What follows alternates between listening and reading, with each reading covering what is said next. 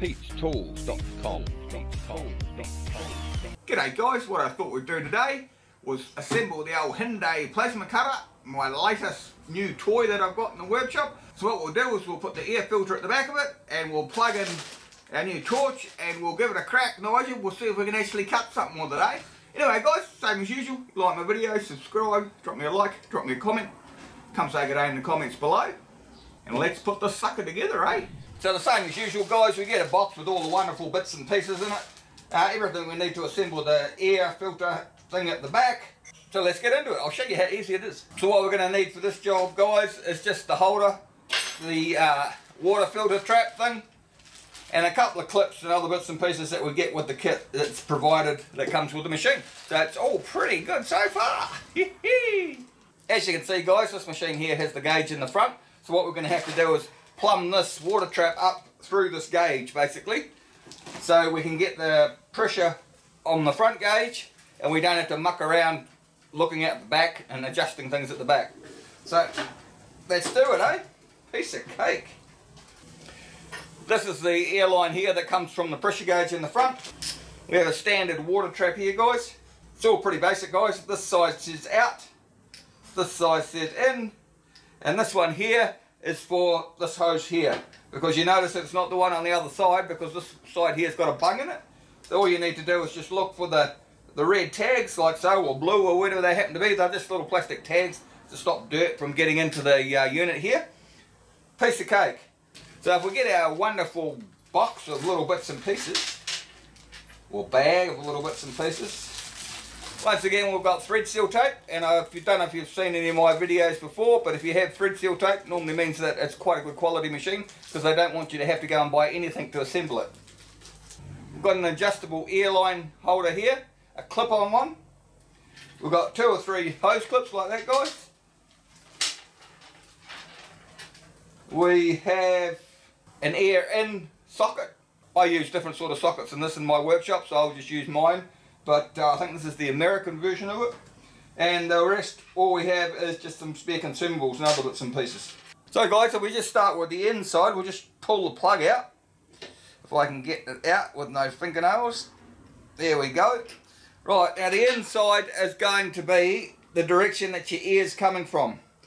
Like you have a snap-on fitting here, and that's what your air hose connects into in your workshop. So this is the inside. Just grab a little of your thread seal tape guys. It doesn't take much, just enough to stop it from leaking. I find if I do it without thread seal tape, it just leaks ever so slightly, so it's just as easy just to run a couple of beads of thread seal tape around it like so. And then screw it in the inside here guys. All it's going to be is a fitting like this because we have to put a hose on here and connect it to there, which is this hose here. So once again, just with your thread seal tape guys, easy peasy lemon squeezy, just like so, just once again, just a couple of times around, just saves a lot of hassle in the future that you don't have to pull it to bits again. If you have a slight little leak in it. Saves doing things twice guys, just hook them in there like so, tighten them up just a little bit, just until it's nice and tight, don't overdo it, and strip it or anything silly like that, just like that. So now we've got our air connector coming in here, we've got it coming out there, and then we've got the one here, which is the little one for this airline here. So what we do with that is just pull this out again guys.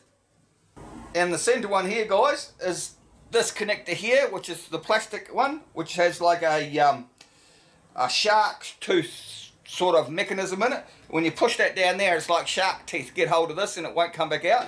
And you're going to say to yourself, Pete, why didn't you put thread seal tape on that? Because they've already given it to us with thread seal tape on, guys. So that's a bonus. So screw him in there. Told you this was easy, guys. How easy's easy, eh? Take about 10 minutes, I'd say. Just screw him in there like so. Beautiful. Now what you need to do, guys, is get this bracket thing here. And it's got a little sort of raised piece here. You make sure that's down. Because that stops this from spinning around when you tighten it up. So we've got the raised piece underneath. Make sure it goes downwards. And then they supply you with a couple of little washers. Put them on as well. That gives us the sliding ability to slide it from one side to the other.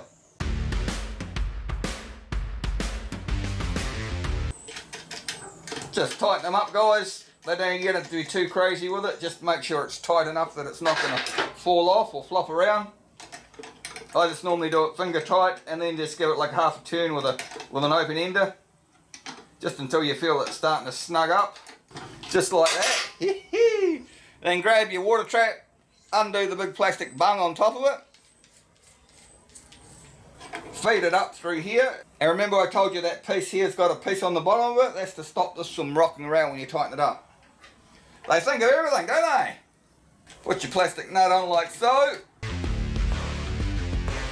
Once again guys, I wouldn't go crazy doing it up. I just do this up finger tight. I don't put a, a spanner or a crescent or an open end or anywhere near it because it's only plastic after all. So what we need to do now guys is get a piece of hose, measure a piece, go from here to here. And they've kindly supplied us with this nice looking hose with a braid in it. So once again, I'll just measure that to the shortest distance without putting a kink in it. So I'd say we're about here. Make sure that's about the right length guys. Yep, looks about right to me. Put your hose clips on.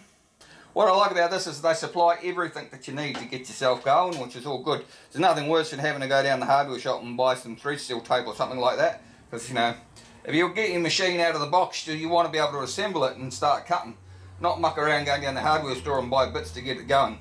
Just give these a little bit of a tweak up.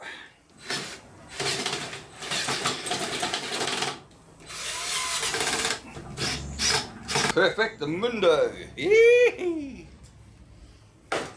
I love it when I start assembling a new machine. There's nothing more fun than getting it to the point where you can actually cut with it. Have a look here.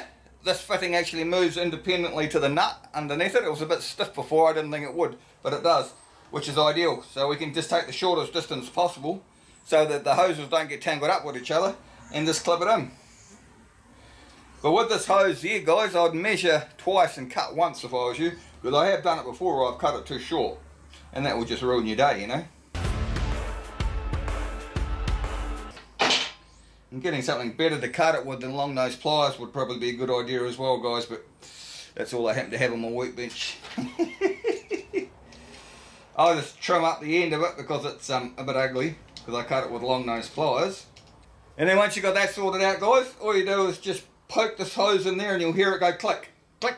You can feel it too, okay, click. Then if I pull it out, or try to pull it out, it won't come out. But I can get it out if I see this blue ring here, if you grab the side of the blue ring and you hold it down and then pull the pipe out.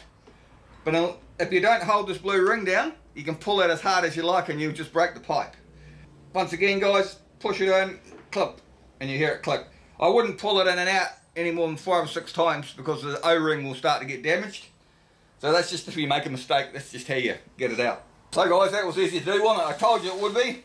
If, mm, if I can do it, anyone can do it. So what did we get with this machine? We got an earth lead like that, which is about a basic 300 amp earth lead. So we'll put them in here. Hee Getting down to the business end there. I like it, I like it, I like it. We've got a adapter from 220 volt to 110, which is awesome. We got a whole lot of spare consumables, which is awesome also and we got a nice looking AG60P plasma torch. Now this is the newer one by the look of it. So let's have a look how long it is guys. That's about 5 metres long guys, 15 feet. Beautiful. Some of these cheap machines, they only, they only give you like a 3 metre lead. So if I take this plug out of here, once again it's just a sort of a dust cap thing guys. Take that out of there. We'll screw the earth and the power lead in here. See, I even noticed on the switch guys, some of them just have the wire going in there. This has actually got a piece of reinforcing so you don't snap it off like I always used to do. They're just little things like that, just make you think the machine's just that little bit extra quality. Put him in there like so.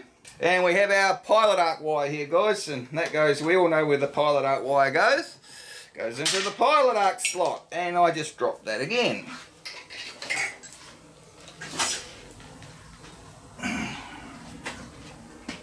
So just put them in there like so guys. Make sure you do this pilot arc wire up tight because it has a tendency to vibrate when you're cutting. Once it starts to vibrate, it'll start to pit and burn out your connector here. So just make sure it's tight, just tweak it up. Right, if I get this junk out of the way, guys, put some air onto it, give it some power, see what happens, eh? uh, I haven't had a very good run with these things lately, guys. The last one I had, I turned it on and it blew all the fuses in my workshop and that was the end of that. So, here's hoping, let's try this one.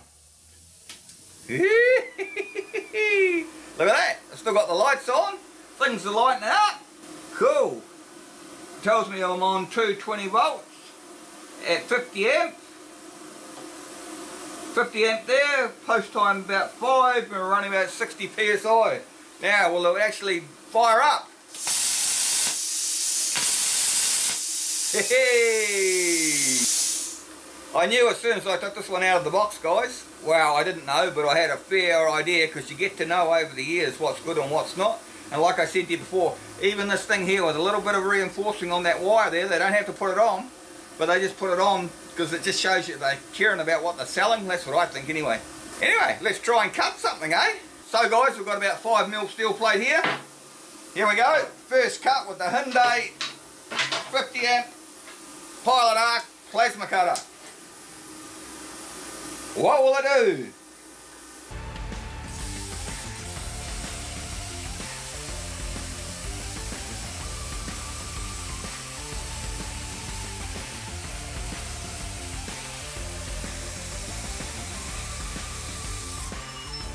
Well guys, well I'm impressed with that.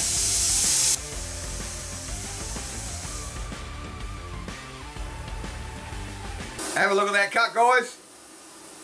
I mean how can you moan about that? Oh, I'm really impressed with that. First cut machine out the box, cuts like that. so guys, really how can you moan about that? This is one of the better machines that I've reviewed so far. We'll do a whole lot more in-depth tests on it. I'll see exactly how thick it can cut and we'll do all sorts of other bits and pieces. But I just wanted to show you how easy they are to assemble and what to expect when you get it straight out of the box. Anyway guys, same as usual, if you like my videos, subscribe, drop me a like, drop me a comment, come say good day at Pete'sTools.com.